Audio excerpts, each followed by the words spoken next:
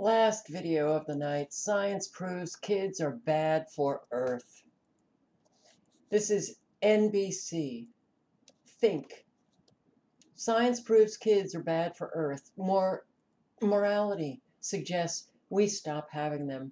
We need to stop pretending kids don't have environmental and ethical consequences. My God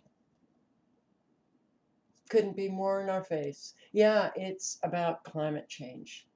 Climate change ethics. All right, I've got to read you this. Uh, this is the analogy the author of this article makes in terms of you thinking of having children. Okay, if I release a murderer from prison, knowing full well that he intends to kill innocent people, then I bear some responsibility for those deaths even though the killer is also fully responsible. My having released him doesn't make him less responsible, but his doing it doesn't eliminate my responsibility either. Something similar is true, I think, when it comes to having children. Once my daughter is an, an autonomous agent, she will be responsible for her emissions but that doesn't negate my responsibility.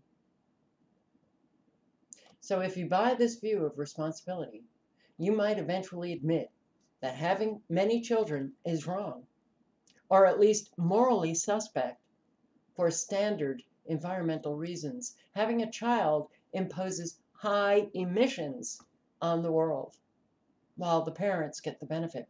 So, like with any high cost luxury, we should limit our indulgence. Well, I'm sure you could imagine what I'm thinking. Um, but New Jersey here to start a statewide gun buyback program. See, all of the agendas, regardless who is in the White House, all of the agendas continue on. Headed by Governor Phil Murphy.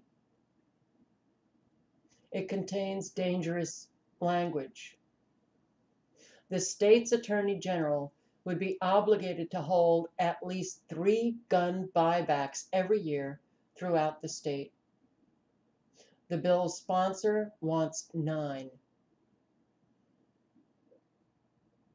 And it's a Democratic governor, so he may very well press for more.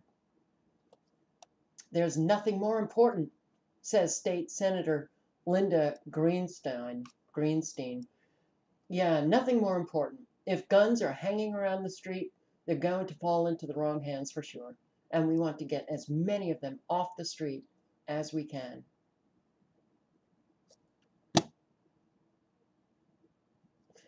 The agendas continue. Bush, Obama, Trump, Clinton. It doesn't matter. That's why you all need to work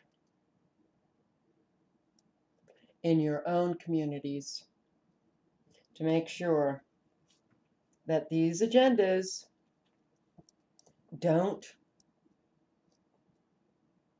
uh, continue to be implemented. And if you don't do that, you can sit back and wait for Trump to save the day. You can sit back and hope that Jesus is going to come soon. But sometimes hope is false. One really does need to reevaluate their beliefs.